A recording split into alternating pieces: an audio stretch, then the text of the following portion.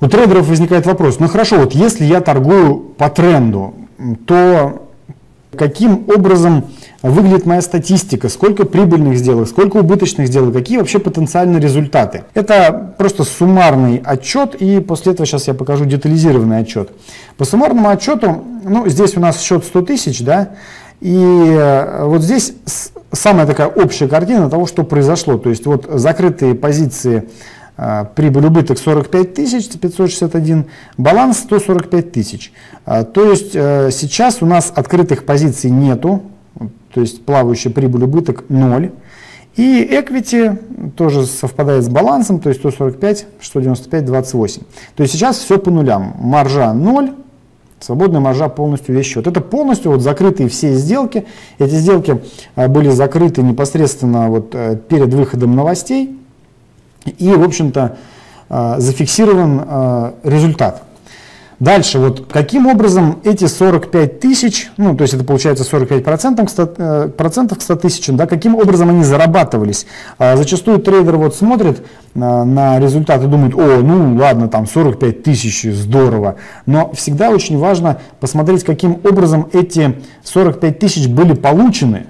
Если мы Э, получили прибыль 45 тысяч, а при этом теряли 60 тысяч, то это очень плохой результат, потому что мы теряли больше. Да?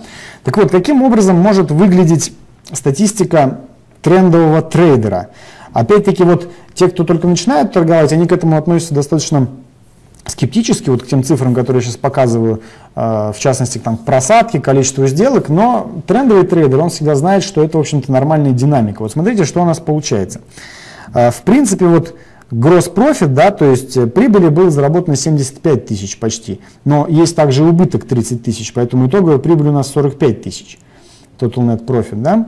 А дальше, на какие цифры важно обращать внимание? Вот смотрите, абсолютная просадка, максимальная просадка, относительная просадка. То есть в данном случае мы просаживались э, по счету на 15 тысяч, чуть с небольшим, да, то есть это 15 процентов.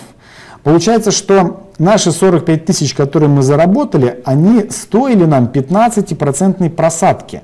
В принципе, это нормально. Почему? Потому что мы уходили в минус на 15%, а в итоге заработали 45%. То есть мы заработали в три раза больше, чем у нас был максимальный риск по нашему счету.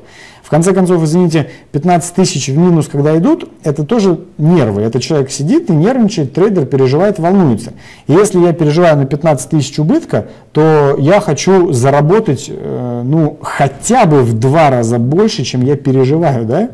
Соответственно, здесь получается в три раза больше, то есть это нормальная динамика. Мы рисковали 15 тысячами, э, ну, имеется в виду с точки зрения просадки, да, заработали 45 тысяч. Получается, мы заработали в три раза больше, чем рисковали. Это, это хороший, это нормальный коэффициент, хотя бы один к двум должно быть. Дальше вот обратите внимание вот на что. Очень важные цифры. Всего было совершено 52 сделки, вот total trades 52, из которых коротких позиций 16, сделок 37%, да, то есть получается по распределению. Длинных позиций 36 сделок. И самое главное, сейчас обратите внимание вот на какую цифру. Вот обычно начинающий трейдер на эту цифру смотрит и говорит, ой, ну так плохо. Вот смотрите, profit trace это количество прибыльных сделок. Количество прибыльных сделок было всего лишь 17 при общем количестве 52. То есть прибыльных сделок было 32,69%. То есть представляете, что получается? Что э, в данном, в данном вот торговле за март да, я зарабатываю в 32% сделок всего лишь. Как, когда новичок смотрит, ох, ну всего лишь 32% сделок ты зарабатываешь. А убытки были в 67% сделок. Да?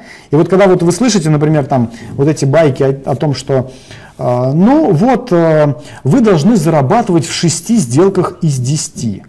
А, но это очень субъективно, да? То есть я, я, я, мне даже было бы, в принципе, очень за вас тревожно, если бы вы зарабатывали в 6 сделках из 10 или в 7 сделках, потому что это говорит о том, что у вас что-то там с риск-менеджментом как-то не заладилось, да?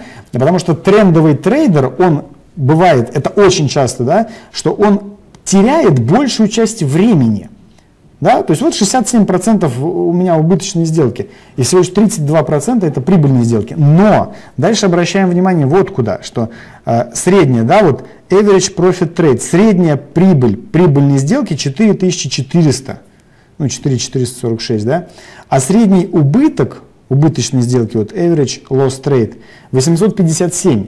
То есть получается, что мы теряем 850 долларов в среднем, да, а зарабатываем 4000. То есть получается, что да, убытки есть, и их достаточно много с точки зрения количества, но они очень маленькие с точки зрения качества. То есть это маленькие убытки, понимаете? Это, к примеру, вот э, стоп-лосс я переставил, там цена пошла в мою сторону, я стоп-лосс переставил э, в сторону движения цены, да, и он, допустим, сработал этот стоп-лосс. И в принципе получается, что ну да, получилась убыточная сделка, но она ни о чем. Она маленькая, и она счет в принципе не не уничтожает в этом плане, да. А дальше, вот обратите внимание, largest profit rate, наибольшая по прибыли 15 тысяч. То есть это вот есть как раз те самые трендовые сделки, которые, э, то есть те позиции, которые покупаются там в основании тренда, если э, хорошо, да, вот э, там пошла сделка, и потом пошел тренд, мы получаем большую прибыль. То есть там вот треть этой прибыли была получена на вот одной из прибыльных сделок, да. Вот. Дальше, обратите внимание, максимальное количество, вот максимум consecutive losses. То есть это максимальное количество убыточных сделок подряд.